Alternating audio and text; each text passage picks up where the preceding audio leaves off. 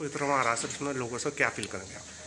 देखिए, सारी दुनिया इस वबा का मुकाबला करने से बेबस है, किसी के पास कोई दवा नहीं है। आज तक सारी दुनिया जो बात कह रही है, वो एक ही है कि इज्तमाहीत नुकसानदेह है और फासला बनाए रखना ज़रूरी है ताकि इस मर्ज से बचा जा सके। इसलिए हमारे बुज़ुर्गों ने, उलमा ने, सबने मिल कर के सारी दुनिया के अंदर ये फैसला किया कि इज्तमाहीत मजहबी मकाम पर होती है, मस्जिद के अंदर भी होती है। इस बुनियाद के ऊपर जमातें मस्जिद के अंदर न की जाएँ, बल्कि अपने घरों के अंदर पढ़ें।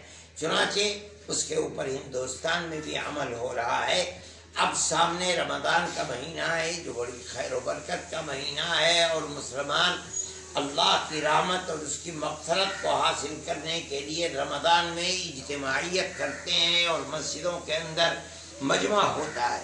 लेकिन चूँकि मौजूदा सूरत हाल इंतहाई गंभीर है और मर्ज हिंदुस्तान के अंदर भी बढ़ता चला जा रहा है बचने के लिए ये ज़रूरी है कि तरावी का अहतमाम ख़ास तौर पर जिस तरह हम अब तक मस्जिदों से अलग होकर के जमात करते हैं, इसी तरह तरावी को भी अपने घरों के अंदर पढ़ा जाए। मस्जिद के अंदर सिर्फ़ इमाम और मुअज्जिन और ज़्यादा से ज़्यादा दो तीन आदमी अगर पढ़ लेते हैं, कोई हरज की बात नहीं है। चाहे तरावी अलम तरकैब से पढ़नी पड़े या पूरा कुरान अगर कोई हाफिज है तो वो पूरे कुरान को पढ़े।